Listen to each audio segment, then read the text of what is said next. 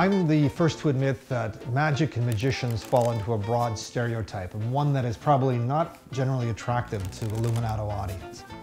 But the great thing about Luminato, and I believe its partnership with Magicana, is we have that opportunity to expose everyone to different elements of how beautiful uh, and daring this work can be. Card table artifice is, is transgressive magic. And what I mean by that, it's magic that breaks a moral or civil code.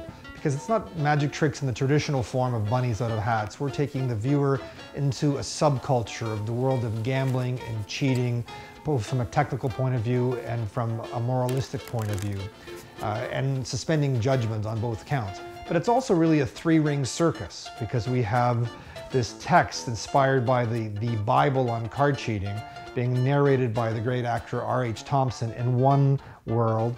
We have me as the man in the room gambling who practices this technique and raises the curtain on it in another room.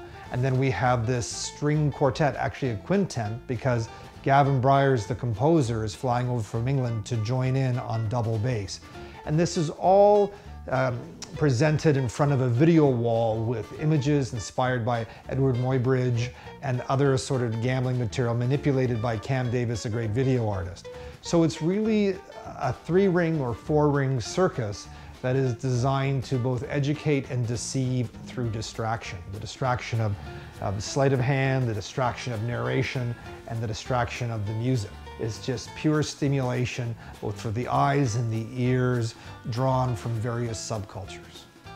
One of the things that I'm particularly excited about as both a presenter and a performer is having Rob Zabrecky provide the first half of this card table artifice double bill.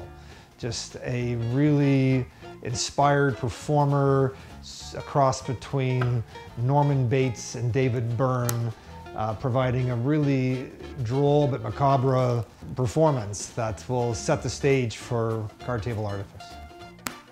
Bullet catch is also transgressive magic because once again it breaks a social or moral code. In this case, whether or not an audience member who is actually given a real gun is willing to pull that trigger and fire a bullet at a performer who has vowed to catch it. Rob Drummond, although he does perform some magic in the show, is primarily a playwright and a performer, and he addresses the issues that, that few care to address, and that is the decisions we make in our lives and how they affect one then and there uh, in the moment, all through the guise of exploring the life of William Wonder, a celebrated performer who used to catch a bullet.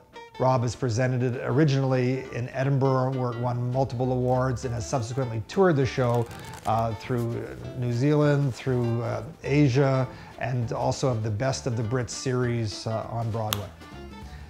Magic to me is a craft, but in the hands of an artist, it can become an art.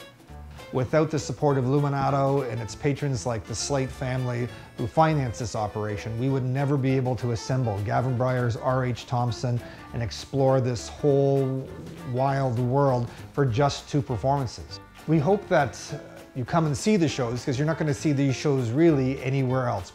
We may never stage this work again. And that's okay with me because it was designed to be in this moment, at this time, in Toronto, for Luminato and nowhere else.